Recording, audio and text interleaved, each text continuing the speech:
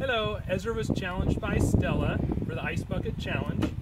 Ezra and I are going to donate to Children's Miracle Network, and Ezra is going to challenge. Who are you going to challenge? Phoebe, Charlie, and Evan. And after we donate, Ezra gets to get wet too.